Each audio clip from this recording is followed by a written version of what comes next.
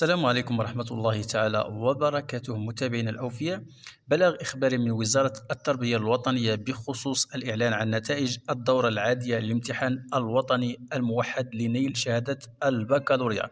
فبالنسبة لهذا الإعلان اللي كتعلن فيه وزارة التربية الوطنية عن النتائج وكتعلن فيه على نسبة النجاح والنسبة بين الذكور والإناث يعني أولا حظ موفق وهنيئا للناجحين والناجحات وحظ موفق للذين لم يتوفقوا في الدورة الاستدراكية أو في سنة مقبلة.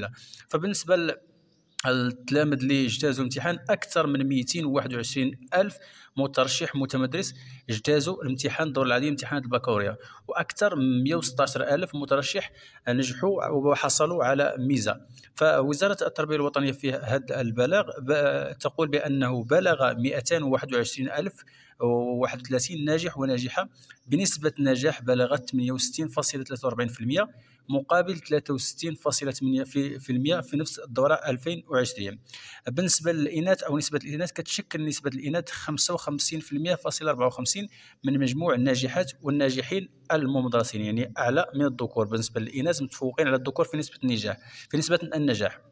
كما يبلغ عدد الحاصلين على ميزة لدى الممدرسين 116500 بنسبة 52% من مجموع الناجحين. كما بلغ أعلى معدل على المستوى الوطني في هذه الدورة 19 53 ل 20 يعني أعلى معدل في المستوى الوطني في هذه الدورة هو 19 اعلى فاصلة 53 بمسلك العلوم الفيزيائية خيار فرنسية. آه، وهو كاين في المديرية الإقليمية مراكش الأكاديمية الجهوية للتربيه والتكوين بجهه اسفي يعني مديرية المديرية الإقليمية مراكش والأكاديمية الجهوية للتربيه والتكوين جهة مراكش آسفي. كما بلغت نسبة النجاح لدى الممدرسين في قطب الشعاب العلمية والتقنية 66.55% من مجموع الحاضرين في اختيارات هذه الشعاب. بالنسبة لقطب الشعاب الأدبية والأصيلة فقد بلغت هذه النسبة 73.29% يعني 73.29% من مجموع الحاضرين في اختبارات هذه الشعاب. أما بالنسبة للمسالك الدولية للبكالوريا المغربية اللي اجتازها 90 ألف مترشح ومترشحة فقد بلغت نسبة النجاح 78.35% فيما بلغت بالنسبة للمسالك البكالوريا المهنية 59.52% من مجموع الحاضرين في اختبارات المسالك والذين يبلغ عددهم 6205 مترشح ومترشحة. بالنسبة للمترشحين في وضعية إعاقة اللي استفادوا من تكييف اختبارات الامتحان الوطني الموحد وظروف الإجراء والتصحيح فقد بلغت نسبة النجاح في صفوفهم 67.63% وللتذكير فقد حضر لاجتياز اختبارات هذه الدورة 323 ألف مترشح ومترشحة من المدرسين بنسبة بلغت 95.15% وبلغت نسبة النجاح لدى المترشحين الأحرار 41.93% مقابل 30.61% في نفس الدورة سنة 2020 كنلاحظوا أنه هذه السنة كاين ارتفاع مقارنة مع السنة الماضية بالنسبة للمترشحين الأحرار. مع الإشارة إلى أن نسبة الحضور في صفوف هذه الفئة سجلت نسبة بلغت 60.61% كما يبلغ العدد الإجمالي للمترشحات والمترشحين الممترسين المسموح لهم باجتياز الدورة الاستدراكية 92.531 مترشح ومترشحة.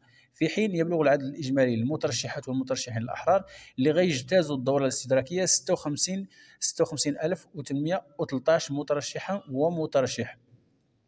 هذه الدورة أو الدورة الاستدراكية ستجري كما هو مقرر أيام 5 6 7 8 يوليوز 2021 وسيتم الإعلان عن نتائجها يوم 11 يوليوز 2021 فالوزارة في ذات البلاغ تشيد الوزارة بالمجهودات المبذولة من طرف النساء ورجال التربية والتكوين والسلطات المحلية والأمنية والصحية وكافة المتدخلين في إنجاح هذا الاستحقاق الوطني الهام وتحسين مصداقية شهادة البكالوريا الوطنية في ظرفية استثنائية.